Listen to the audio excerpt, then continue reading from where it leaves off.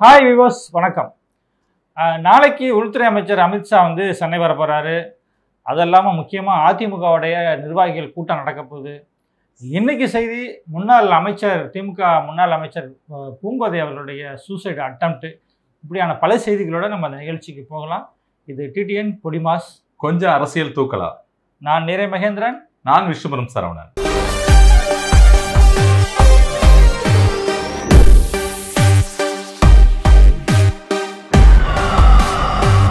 சரி ஒரு விஷயம் பாத்தீங்களா சொல்லுங்க. தமிழ்நாடு சட்டமன்ற தேர்தல் வந்து இன்னும் அஞ்சாறு மாதங்கள் வரப்போகுது.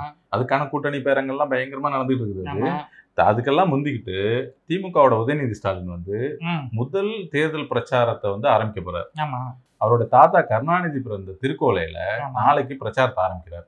தொடர்ச்சியா நூறு நாள் திமுகவுக்காகவும் அது கூட்டணி கட்சிகளுக்காகவும் பிரச்சாரம் பண்ண போறதா தகவல் வந்திருக்கு. நான் ஒரு செய்தி திமுக செய்தி நான் ஒன்று சொல்றேன். சொல்லுங்க. நூறு நாள் கதை இருக்கட்டும். இன்னைக்கு. கதை என்னன்னா ஒரு முக்கியமான சம்பவம் திமுகவில் நடந்திருக்குது. திமுகவிலே முன்னாள் அமைச்சர் இந்த பூங்கோதை இருக்காங்கல்ல? ஆல்ரெடி ஆலடியானோட மகள். ஆமா. அவங்க வந்து சூசைட் அட்டம்ப்ட்னு ஒரு தகவல். விஷயம் என்னன்னா அவங்க விசாரிச்ச வகையில அங்க என்ன சொல்றாங்கன்னா உட்கட்சி பிரச்சனையினால அவங்க மன அழுத்தம் காரணமாக அளவுக்கு அதிகமாக தூக்க மாத்திரை போட்டுட்டு அந்த முயற்சியில் இறங்கியிருக்காங்க அப்படின்னு ஆஹ், வந்து அதோட தகவல் என்னன்னா அந்த அங்க பகுதியில் இவங்க தான் சீனியர் ஆமா. இவங்களை விட ஜூனியர்களுக்கு வந்து மாவட்ட பொறுப்பு கொடுத்து முக்கியத்துவம் கொடுத்த பதவியெல்லாம் வச்சிருக்காங்க. இவங்களை. மதிக்கலை அப்படிங்கிற மாதிரி பேச்சு இருக்குது.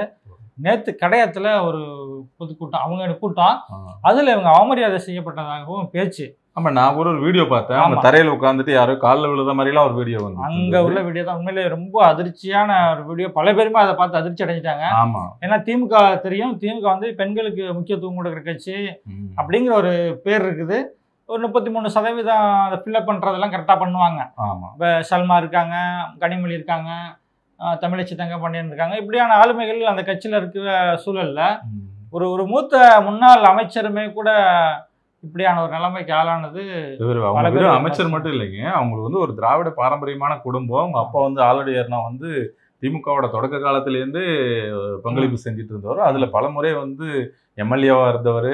இடையில கொஞ்ச நாள் மட்டும் திமுக ம- ல இருந்து விலகி எம்ஜிஆர் மேல உள்ள அபிமானத்தால அதிமுகவுக்கு போயிட்டு எம்ஜிஆர் இறந்தப்புறம் மறுபடியும் திமுகவுக்கு வந்தவர் தான். கடைசியில் அவர் வெட்டி கொல்லப்பட்டார் இது மாதிரியான விஷயங்கள்லாம் கூட நடந்துச்சு அது. இப்படி திராவிட பாரம்பரியமான ஒரு குடும்பத்தில் வந்திருக்கிற ஒரு முன்னாள் அமைச்சர் அவங்க அதுவும் கருணாநிதி வந்து பொறுப்பு வகிச்ச. தகவல் தொழில்நுட்ப துறை அமைச்சராகவும் இருந்திருக்கவங்க இவ்வளோ முக்கியத்துவம் வாய்ந்த பூங்கோதைக்கு இவ்வளோ சிக்கலா? இவ்வளோ இல்ல? சமீபமாவே. திமுகவில் வந்து சீனியர்களுக்கு வந்து முக்கியத்துவம் கொடுக்கப்படுறது இல்ல அப்படிங்கிற ஒரு பேச்சு இருக்குது. ஏன்னா வந்து உதயநிதி ஸ்டாலின் நேரடியா கட்சி விவகாரங்களை தலையிடுறாரு. அதனால சீனியர்கள் ஓரம் கட்டப்படுறாங்கிற விமர்சனம் இருக்குது. தேர்தல் நேரத்தில் இது எதிரொலிக்கும் அப்படிங்கிறத அந்த கட்சிக்குள்ளே பேசிக்கிறாங்கன்னு வச்சுக்கோங்களேன். தேர்தல் நேரம் வேற தேர்தல் எதிரொலிக்கும் வந்து சொல்லிக்கிறாங்க அப்படிங்கிறது தான் விஷயம். இருக்கலாம். ஏன்னா வந்து இவங்களே உட்கட்சி பிரச்சனைகளை வளர்த்து வளர்த்து ஏற்கனவே எதிர்க்கட்சி பிஜேபில இருந்து யாரா கிடைப்பான்னு வலை போட்டு தூண்டில் போட்டுட்டு இருக்காங்க. இவங்களே கொண்டு போய் அந்த பக்கம் தள்ளி விட்டு வர கதை நடந்தாலும் நடந்துரும். நடக்கும். பார்த்து சூதானமா இருங்கப்பா. பாருங்க. என்னங்க? என்னன்னு சொல்லிட்டு கேளுங்க மேல. ஏன் மழை பெஞ்சிட்டு இருக்கு, ஒரே இடி இடிக்குதுங்க. ஒரே சுத்தமா இருக்கு. மழை சத்தம் கிடையாது. இது கொஞ்சம் பிளைட்டு சத்தம். வேற மாதிரி பிளைட்டு சத்தம். ஏங்க டெய்லி தான் ஃபிளைட் போகுது. இன்னைக்கு என்ன ரொம்ப ஜாஸ்தியா இருக்கு சத்தம். வேற மாதிரி பிளைட்டு சத்தம்னு சொல்லிட்டேங்க. வேற மாதிரினா எந்த மாதிரி சொல்லுங்க வந்து எங்களுக்கு? நானும் பிறந்ததுல இருந்து ஃபிளைட் சத்தம் கேட்டு தாங்க இருக்கோம். அது என்ன வேற மாதிரி சொல்லுங்க? டெல்லியில இருந்து நேற்று குடியரசு துணைத் தலைவர் வந்தாரு. சரி. வந்துட்டாரா? ஆமா. நாளைக்கு ஒரு பிளைட் வருது. உள்துறை அமைச்சர் வர்றாரு. இதெல்லாம் தனி பிளைட்டு தனி சத்தம். ஓ அப்ப சத்தம் ஜாஸ்தியா தான் இருக்கும். தமிழ்நாட்டுக்கு வந்து தமிழ்நாட்டை வந்து கிட்டத்தட்ட முக்கியமான மே- மேலிடத்து தலைவர்கள்லாம் வந்துகிட்டு இருக்கிறாங்க. அந்த சத்தம் இன்னும் கொஞ்ச நாளைக்கு ஜாஸ்தியாவே இருக்குங்கிறதையும் தெரிஞ்சுக்கோங்க. சரி இன்னும் வந்து தமிழ்நாட்டுல வந்து இந்த கட்சி கூட்டணி அந்த கட்சி கூட்டணி எதுவும் முடிவாகலையே. அதுக்குள்ளார எதுக்கு இவங்க எல்லாம் வந்து இப்ப என்ன பண்ண போறாங்க? முன்னாடி எதுக்கு துண்டு போடணும்? அது முடிவு பண்றது தானே வர்றோம். ஆ, முக்கியமா என்னன்னா தமிழ்நாட்டுல வந்து திமுக அதிமுகங்கிறது தெரியும். ஆமா. திமுகவில் யாராருங்கிறதும் தெரியும். ஆமா. அதிமுகவில் யாராரு அப்படிங்கிறது ரெண்டாவது இடம் யாரு மூணாவது இடம் யாருங்கிறதுக்கு பெரிய போட்டி நடந்துட்டு இருக்கு சரி நிஜமாவே எனக்கு சவ- சந்தேகம் அப்படி நீங்க சொன்னோன்னே அதிமுக கூட்டம் ரெண்டாவது இடம் யாருங்க? ஏற்கனவே பாமக வந்து பெரிய கட்சின்னு அவங்க சொல்லிட்டு இருக்கிறாங்க. ஆமா. ஆனா அதை விடவும் பெரிய கட்சி நாங்க தான்ங்கிறதுக்கு வேலைகள் வந்து பிஜேபி செஞ்சுக்கிட்டு இருக்கு போன வருஷம் தான் பாராளுமன்ற தேர்தல் நடந்துச்சு. அதிமுகவுக்கு அவ்வளவு ப்ரெஷர் கொடுத்து சீட்டெல்லாம் வாங்குனீங்க. ஒரு சீட்டை கூட ஜெயிக்க முடியல இதுல ரெண்டாவது இடம் மூணாவது இடம்னு சொல்லிட்டு இருக்கீங்க. அதெல்லாம் போன வருஷம். அதுக்குள்ள என்னாச்சு? இந்த வருஷம் டூ பாயிண்ட் ஜீரோ அடுத்த வருஷம் எலெக்ஷன்ல. நாங்க தான் தமிழ்நாட்டுல அதிமுக திமுகவுக்கு அடுத்து ரெண்டாவது மூணாவது பெரிய கட்சியா இருப்போங்கிறது தான் எங்களோட திட்டம். எப்படி? ஆமா நாங்க அதிமுகவில் இப்ப யார் பெரிய கட்சி நீங்க நினைக்கிறீங்க? நாங்க தான் பெரிய கட்சி. எப்படின்னு கேக்குறேன். ஆமா. நாங்க வந்து அண்ணாமலை இருக்காங்க இருக்கிறாங்க அவங்க இருக்கிறாங்க. பவர் ஸ்டார் சீனிவாசன் வரப்போ அவரும் வருவாரு பேசிட்டு இருக்கிறோம். நாளைக்கு அவரே தனி கட்சி தொடங்குவாங்க அது வேற அதுக்கு கதை வேற. வலுவான கட்சி தான். நாங்க வந்து பாமகவுக்கு அடுத்து பெரிய கட்சிங்கிற பில்டப் உருவாக்குறதுக்கு எங்களால முடியுங்க. நாங்க நாகர்கோவில போய் ஒரு கூட்டம் போட முடியுமா உங்களால? எங்க போடுங்க? பஸ் ஸ்டாண்ட் பக்கத்துலயேவா முட்டுச்சந்து கதையெல்லாம் பழைய கதை. இப்ப எல்லாம் நாங்க ஸ்ட்ரைட்டா கூட்டாங்கன்னா இந்த காலி நாற்காலிங்கிற வேலையெல்லாம் கிடையாது. ஸ்ட்ரைட்டாவே நாங்க ஆளை இறக்கிடுவோம். அதுக்கான வேலை நடந்துட்டு இருக்கு மாவட்ட வாரியா நாங்க பண்ணிட்டு இருக்கோம்னு வச்சுக்கோங்களேன். அப்ப அந்த வேலை தான் மீட்டிங் கூட காலி நாட்கள் இருக்காது. அதுக்கு தானே அமித்ஷா வெங்கைய நாயுடு இவங்க இந்த மாதிரிலாம் வந்து இறக்கிட்டு. எதுக்கு சும்மா இறக்க குஷ்பு எதுக்கு இருக்கிறாங்க? சரி விடுங்க. அந்த கதையெல்லாம் விடுங்க. நாளைக்கு எதுக்கு அமித்ஷா வராரு? இதெல்லாம் இந்த விஷயம் அந்த விஷயம். வந்து வந்து அரசு நிகழ்ச்சிகள் சில இது இருக்குது. அதனால வர்றாரு அப்படி பேசிக்கிட்டாங்க. சரி. ஆனா நேத்து அமைச்சர் ஜெயக்குமார் பேசும்பொழுது அப்படியே தான் அரசு நிகழ்ச்சிகள் கிடையாதுங்கிற மாதிரி அவரும் டக்குன்னு சொல்லிட்டாருன்னு வச்சுக்கோங்களேன். ஓ. அரசியல் நிகழ்ச்சிகள் இருக்கலாம் அப்படிங்கிற ஊகமும் இருக்குது. தேர்தல் நேரங்கிறதுனால கூட்டணியில பேச்சுவார்த்தை அந்த மாதிரி முக்கியமா ஓடும். அப்படி என்னதான் பேசுவாங்க? நாளைக்கு வந்து அதிமுகவோட முக்கிய நிர்வாகிகள் கூட்டம் நடக்குது. சரி. அதுல சில முடிவுகள் எடுக்கப்படலாம். அந்த முடிவுகள் முடிவுகளுக்கு பின்னாடி அங்க பேசப்படலாங்கிறது ரொம்பவும் ஓடுது. அந்த கதையெல்லாம் நிப்பாட்டுங்க. உடைச்சு சொல்லுங்க. என்னதான் பிரச்சனை? எதுக்கு தான் வராங்க? ஏன் இப்படி சுத்தி சுத்திட்டு வட்டம் அடிச்சிட்டு இருக்கீங்க? சொல்லுங்க. அறுபது பேசணும்ல. யாரு? நான் எங்களுக்கு பிஜேபிக்கு வந்து அறுபது சீட்டு வேணும்னு பேசிட்டு இருந்தோம் இல்லையா? நாங்க. தனியா நிப்போம். ஆ, நாங்க வந்து தமிழ்நாடு முழுக்க தனித்து நிக்கிறதுக்கு எங்களுக்கு செல்வாக்கு இருக்குன்னு பேசணும்ல சரி. அதெல்லாம் இல்லைன்னு தெரியும். ஆனா முப்பது சீட்டாவது வாங்கினுங்கிறது ரொம்ப உறுதியா இருக்கிறோம். ஏங்க என்ன ஆடி தள்ளுபடி மாதிரி அறுபது கேட்டுட்டு டப்புன்னு முப்பதுக்கு வந்துட்டீங்க? ஆளை ரெடி பண்ணிட்டாங்க. முப்பது பேர் ரெடி பண்ணிட்டீங்க. அப்ப. எங்களுக்கு வேணும்ல. அதுதான் பேசிட்டு இருக்காங்க. ஓ. சோ அப்ப அதனால அந்த வேலைகள் நடக்கிறதுக்காக. இப்போ வந்து வந்திருக்கிறதா? ஒரு சரி. இருக்கு நீ உங்களுக்கு வந்து அதிமுக கூட்டணியில ரெண்டாவது இடம் கொடுத்துட்டா பாமக கோச்சிட்டு போயிடுவாங்களே. அங்க வந்து அவரோட இளைஞரணி தலைவர் வந்து அன்புமணி வந்து மாற்றம் முன்னேற்றம்ட்டு வாடகை வண்டி எடுத்துட்டு சுத்திட்டு இருந்தாரு. ஆமா. அது அது ஒண்ணும் பண்ண முடியாதுங்க. நாங்க ஒரு ஆப் எங்க ஆஃப் பண்ணுமோ அங்க ஆஃப் பண்ணிடுவாங்க. அந்த வேலையெல்லாம் தெரியுங்கிறதுனால தானே நாங்க நேரா இங்க வர்றோம். அப்ப நீங்க ரெண்டு. ரெண்டாவது இடம். ரெண்டாவது இடம். சரி. அடுத்த செய்தி என்ன? சொல்லுங்க. படபடன்னு போலாம். அடுத்த செய்தி வந்து ஒரு காப்பி பேஸ்ட் செய்திங்க. காப்பி பேஸ்டா ஆமா தமிழ்நாடு மாதிரியே. தமிழ்நாடு மாடல காப்பி அடிச்சு ஒரு மாநிலம் வந்து அட்டம் அடிச்சிருக்காங்க. நல்ல ரிசல்ட் அவங்களுக்கு. தமிழ்நாட்டையே காப்பி அடிச்சிருக்காங்களா. எந்த மாநிலங்க? சொல்லுங்க. தமிழ்நாட்டுல பள்ளிக்கல்வித்துறை வந்து அரசு பள்ளிகள் கட்டமைப்பு நல்லா இருக்குன்னு சொல்லுவாங்க. ஆமா. அது மாதிரி ஆந்திராவிலையும் கொண்டு வரணும் அப்படின்ட்டு அவர் ஜெகன்மோகன் முதலமைச்சர் இருக்கார் இல்லையா? அவர் அட்டம் அடிச்சாரு. என்னன்னா அரசு பள்ளிகள்ல ஆங்கில வழி கல்வி நடத்துறது. அப்படின்னு முயற்சி எடுத்தோம்னா நிறைய பிள்ளைங்க வந்து அங்க சேர்ந்திருக்காங்க. இது அப்படியே தமிழ்நாடு மாடல்ல இங்க உள்ளவங்க எல்லாருமே பெருமையா ஏங்க பேசுறாங்க அரசு பள்ளியில வந்து மாணவர்கள் நிறைய சேர்ந்திருக்காங்கிறது வந்து சந்தோஷமான விஷயம் தான். ஏன்னா தனியார் பள்ளி மோகம் நிறைய அவங்களுடைய உழைப்பை வந்து பெரும்பாலான உழைப்புல வர பணத்தை வந்து கல்விக்காக செலவழிக்கிற அந்த மோகத்திலிருந்து விலகி அரசு பள்ளியில சேராங்கங்கிறது நல்ல விஷயம்தான். ஆமா. ஆனா இங்க என்ன பிரச்சனை வருது தெரியுமா? தமிழ் வழி கல்வி அவங்க புறக்கணிக்கிறாங்கிறது தான் மெயின் பிரச்சனை.